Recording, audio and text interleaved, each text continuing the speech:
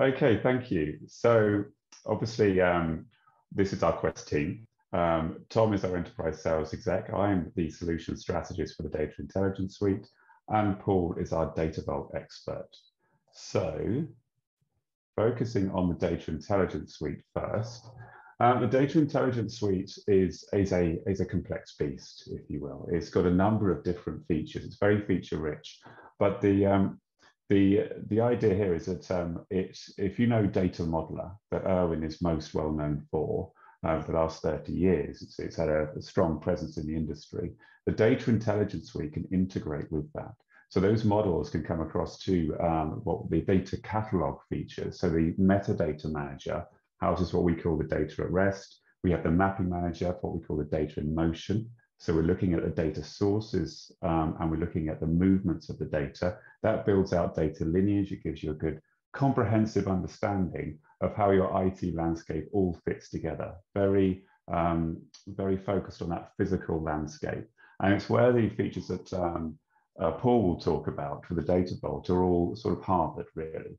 That's where everything comes into. There's a lot of supporting modules that we have around um, the reference data, um, allocating the right access to the right people who are going to contribute in the right way.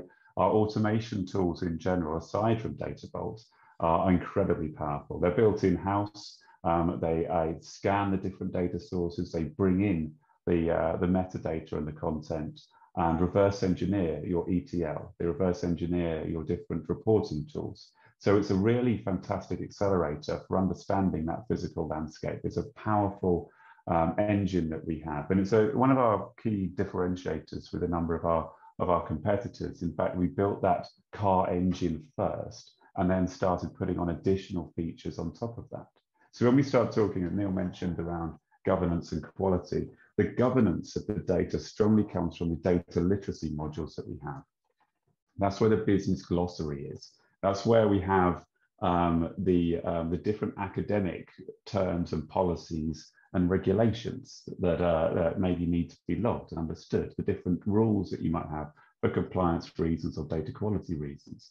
So all of those academic um, aspects that maybe your chief data office or your risk teams, or your legal teams might need to put information in place can then be um, clearly documented and then associated with each other and the contents in the data catalog. And we use AI to, to um, propose associations uh, between those different aspects. So you know, for example, if you've got a, a, business term and you want to know where the data actually resides on the physical landscape, you can find that very quickly. And you can update classifications, you know, for PII purposes uh, or any other classifications that you're interested in. So these modules are incredibly powerful for bringing down, bringing these worlds together, breaking down the siloed working and making it all visible and accessible and searchable um, through the business user portal. So read-only users can find this content and make decisions that they need to make. Okay, so when we're looking at this in terms of bringing it to a reality, the steps that, you that, the, that our customers typically would take was that you'd be harvesting data, harvesting the metadata um, from these different data sources. You would then be able to analyze and map the different sources together based on the realities of the world that you have. You can plan out other mappings as well for future state analysis. You can run impact assessments against um, uh, all, the, all the different technical assets which exist, so at a very granular level as needed. You can build out the contents in parallel, uh, build out the business glossary in parallel to the data catalog um, you know, so you could have your governance teams creating content or transposing and uploading content that maybe exists in Excel today. But you're you're you're tackling both of these challenges at the same time, joining them together, and then socializing that content. So I elaborated when I was talking about the modules about the functionality. As and when you use those functionalities, those capabilities, will depend on the milestones that a particular um, user will have.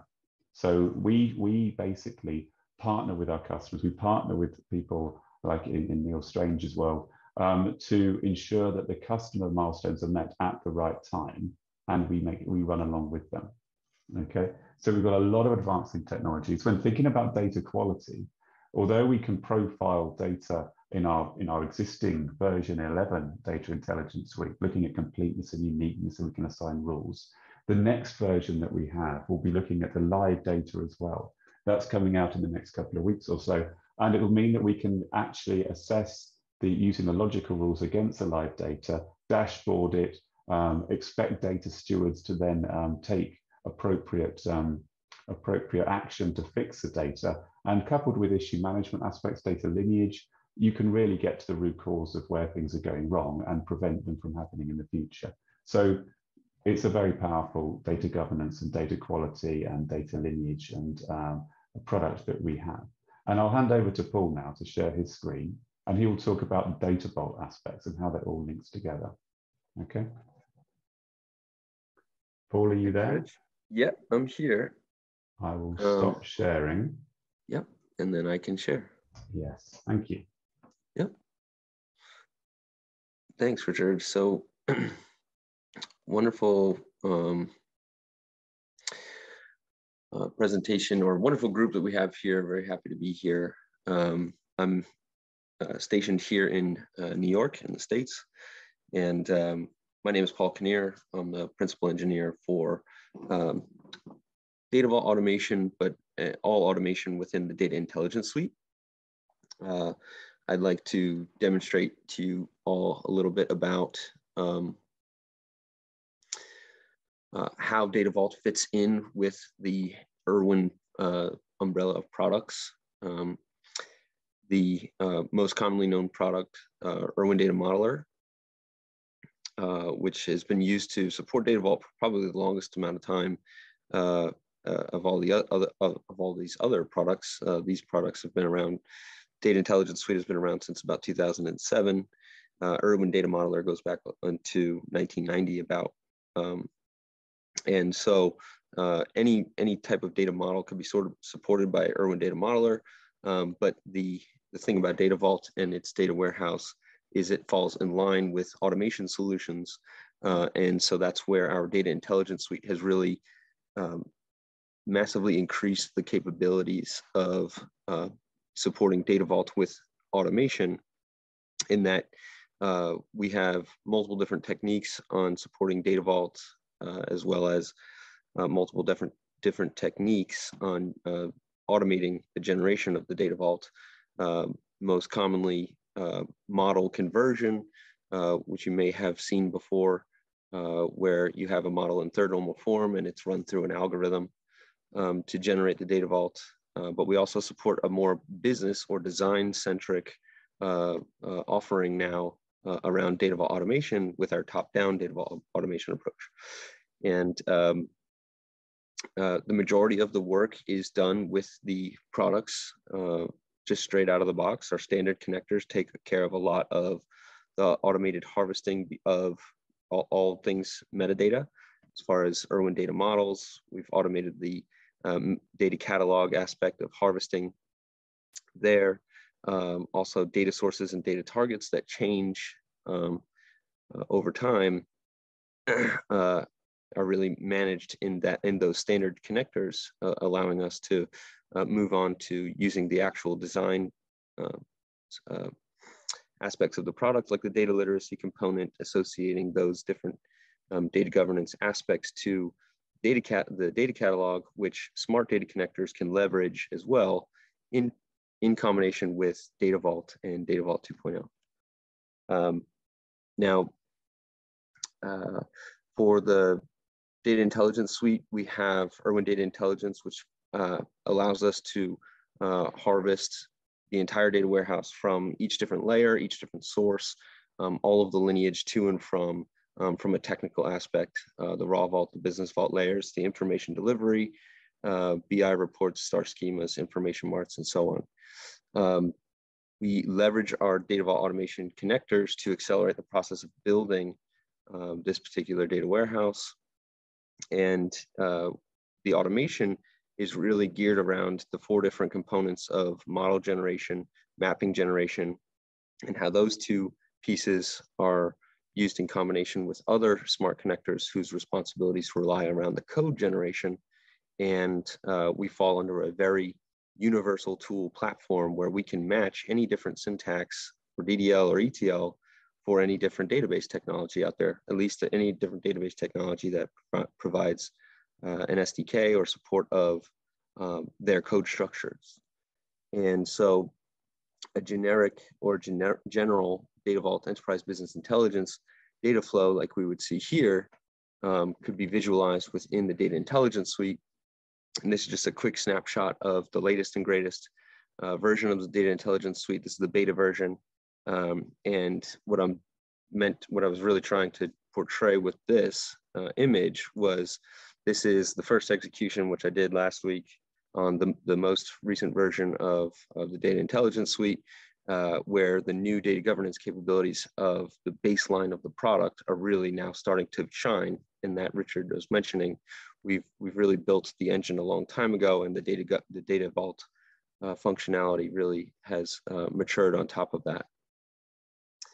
Um, Data Modeler has the abilities to control and manage the, the data vault uh, from a manual perspective and always has. So any type of naming conventions, there is native uh, data vault uh, functions within Data Modeler uh, 2021 R1 and above. So 2022 is out now. This is even 2020. This is when I had to build it manually.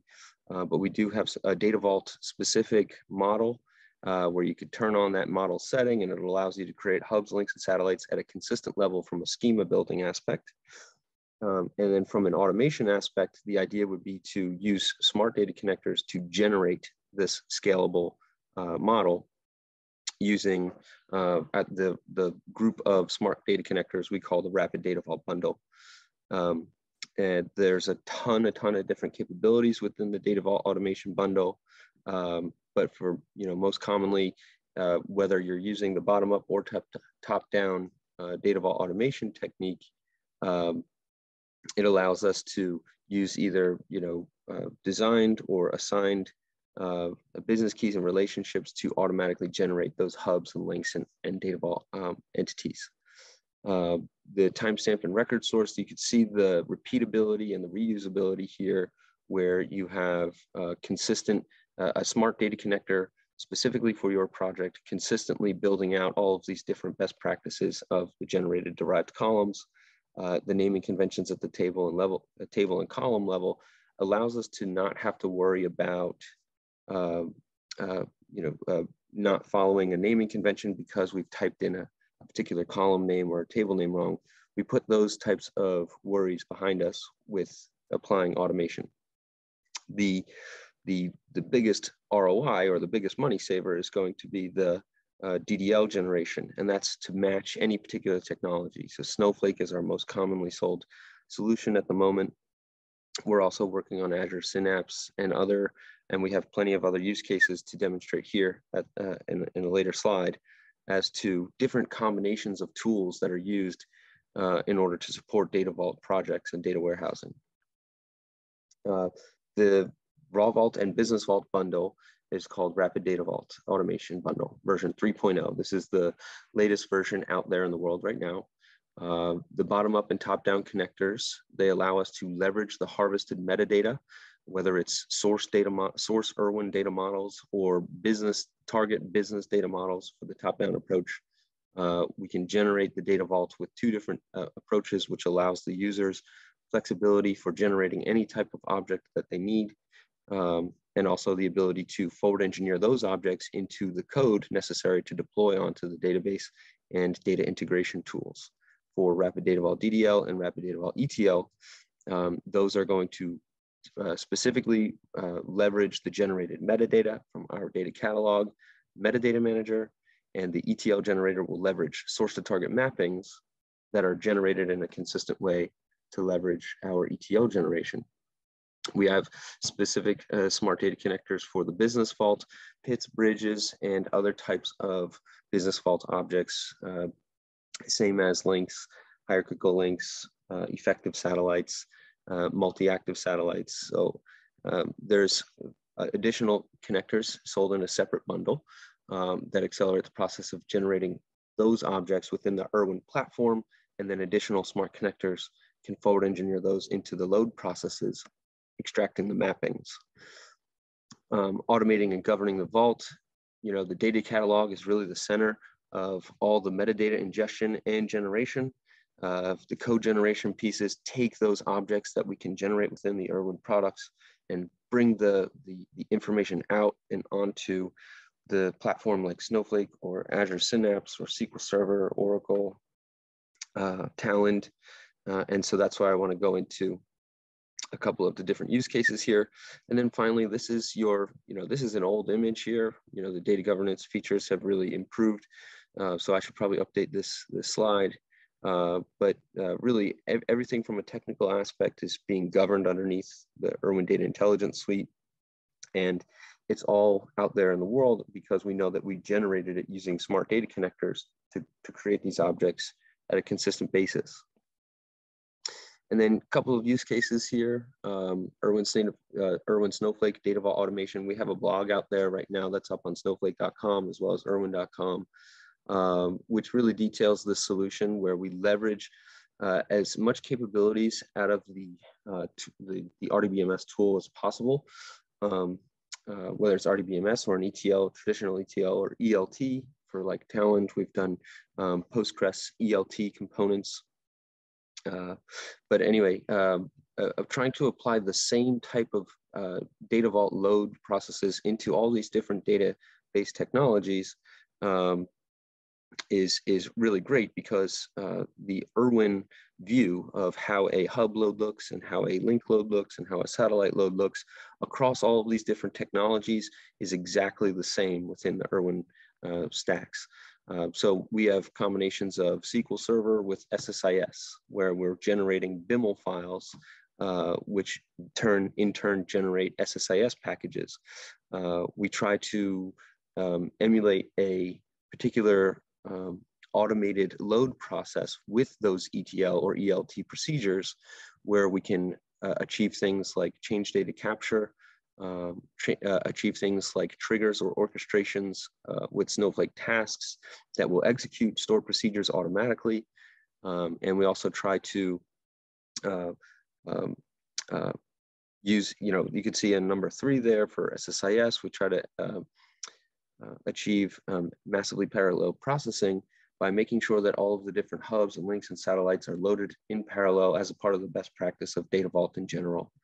Um, and so for the most part, your, uh, your smart connectors in Rapid Data Vault bottom up and top down, the, they're ready to use um, on the first day of your project as, far, as long as we go through all of the different uh, parameters and define your best practices in table and column and data type and business rules uh, that will be applied consistently.